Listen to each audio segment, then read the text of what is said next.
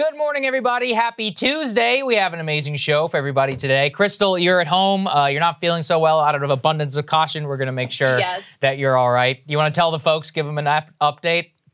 Yeah, so over the holiday weekend, I tested positive for the old coronavirus.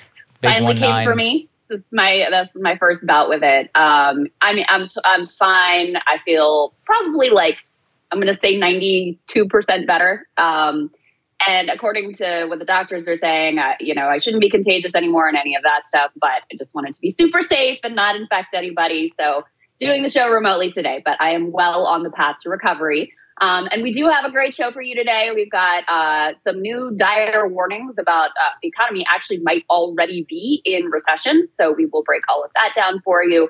Um, we're also going to bring you the latest details on that horrific mass shooting in Highland Park, Illinois, suburb outside of Chicago.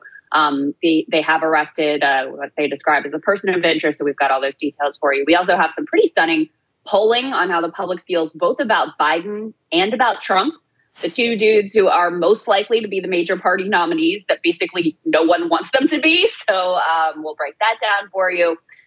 Big developments out of Ukraine. Um, how will uh, the public respond? How is the administration responding? New questions there about whether we've been fed an overly rosy picture of what is going on on the ground. And some new questions about Press Secretary Karine Jean Pierre and how she is performing in the job. Also, a reminder of our big live show in Atlanta. There it is, Atlanta, September 16th. We're coming, folks. Uh, we've done a phenomenal job of selling tickets so well. Uh, they tell me that we're blowing expectations out of the water, which is exactly what we want. Just as a reminder, we are coming not just to Atlanta, but all over. But we have to show that we can sell tickets in Atlanta before we can book venues anywhere else across the country. So it's going to be fun. It's a big midterm show. We're going to have special guests and all that stuff. We're already planning the production. So if you can go ahead and buy tickets, means the world to us, uh, to the show, and just shows the industry we are viable. We are as big as we think we are. So hopefully we can show that to everyone. So let's start then with the economy. Let's go ahead and put this up there on the screen. What do we got here?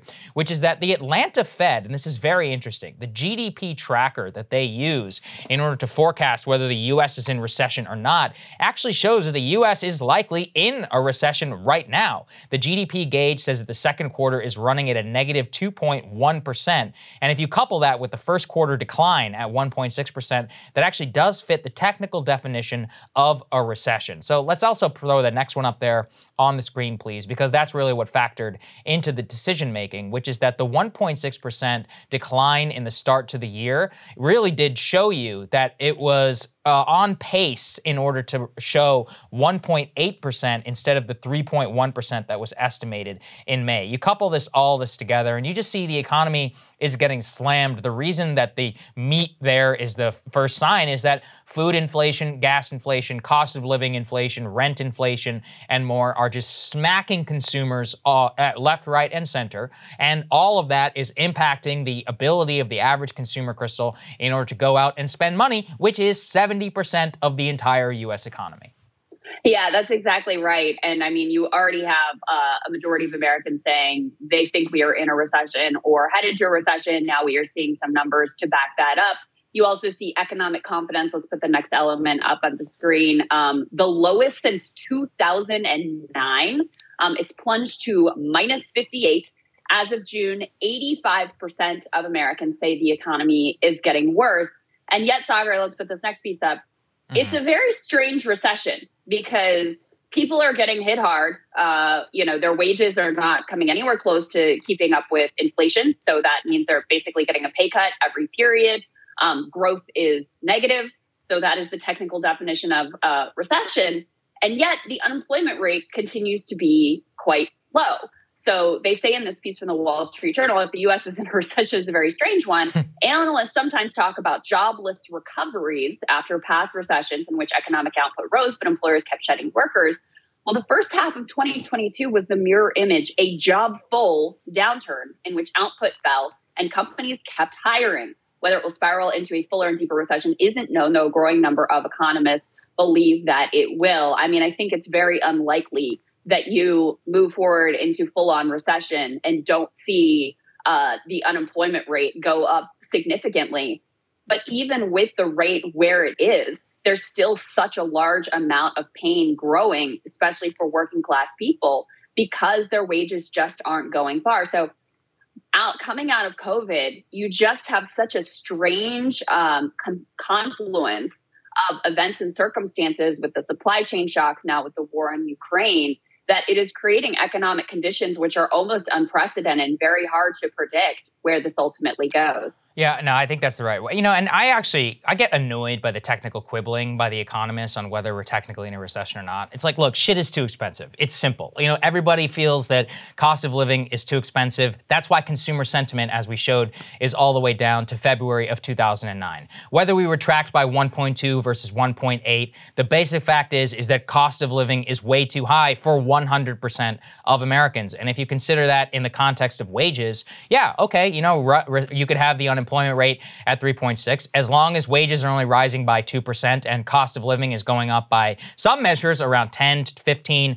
If you look at some of the really tough areas of life we've talked about before, you know, that car segment we did on how the average payment was 650. Well, now it's over 700 actually. So wow. it jumped up $50 Jeez. once more in the last month. Supply chain shortage is wrecking everything from what people need in their most basic. So whether we're technically retracting, not retracting, unemployment rate, things are too expensive. And I think from that perspective, nobody can argue that the economy is, what does Biden say, the strongest since World War II. It's like, yeah, well, oh wage God. growth then was actually pretty high. So, you know.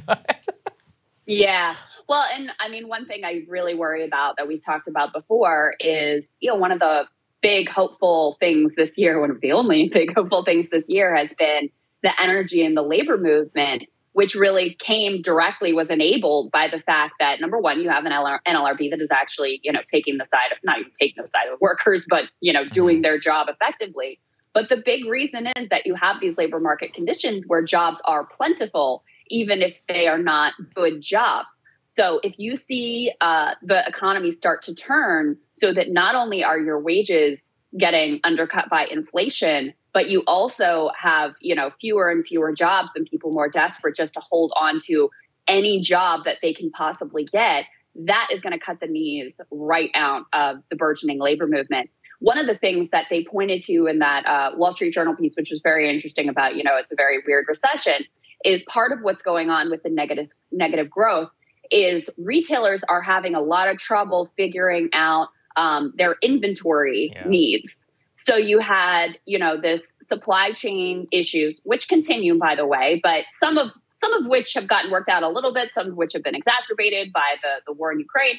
But they uh, built up a lot of stock to get ahead of the fact that okay, we've got all these disruptions, we've got to get enough in into uh, warehouses and now they're caught kind of like holding the bag with too much inventory. So rather than building more inventory, they're spending, they're selling that off and, you know, trying to, trying to get that off their shelves. And so that's part of what's contributing to this uh, negative growth and why you have such a kind of, you know, weird situation unfolding with the economy is we are still trying to figure out how to get things back to any semblance of smooth operation post COVID and post all the supply shocks um, that have to do with that. And look, it's a long term question too of how much uh, how much sustainability versus fragility we want to have in the supply chain. I hope that moving forward, the government puts policies in place to encourage more resilience. But um, you know, don't hold your breath on that one. I'm not going to hold my breath. Uh, unfortunately, I the, all the signs that we're seeing, the Fed continues to hike rates. That's less investment that companies can make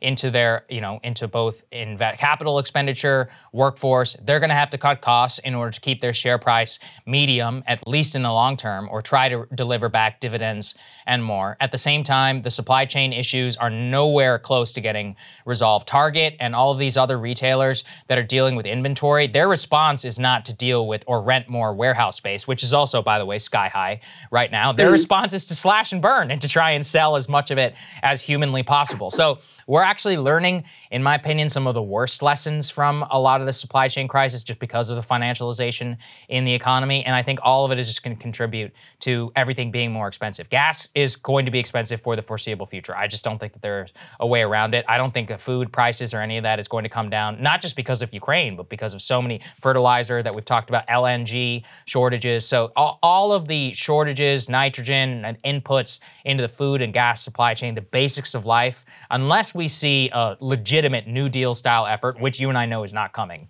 then, well, It's like things are just going to be expensive basically from here on out. And I think that's very unfortunate. Let me okay. say one thing yeah, about ahead. that because um, this was also interesting to me. There was another article uh, about how a lot of commodity prices are actually coming down uh, wheat, corn, oil, and they didn't attribute it uh, in this piece I was reading. It was another Wall Street Journal piece to, you know, oh, changes in supply and demand, and oh, we now have, you know, better supply here, less demand there. It was all because Wall Street speculators had decided to make different decisions which I think, you know, it's also important to remember that these prices don't just reflect the basics of where supply and demand intersect as we're taught in Econ 101. A lot of this, and you see this very clearly in the oil price, in particular, the gas price that you're paying at the pump versus what the price of a, barrel of oil is. A lot of this is also driven by Wall Street speculators and the bets that they're making uh, irrespective of what else is going on in the real economy. So um, there was some hopefulness in that article that because commodity prices were coming down, maybe inflation has reached its peak, maybe it's going to go in the other direction. But I think we're a long way from all of these things settling out.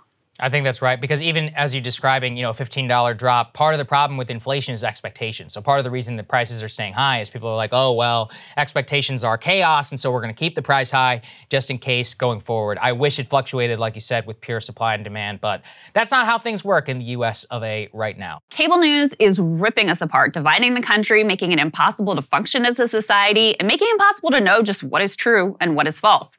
But the good news is they are failing and they know it.